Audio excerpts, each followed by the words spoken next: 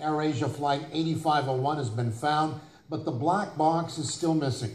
Recovery teams raised the tail section from the Java Sea. They used ropes, slings, and giant underwear airbags, underwater airbags to lift the wreckage to the surface.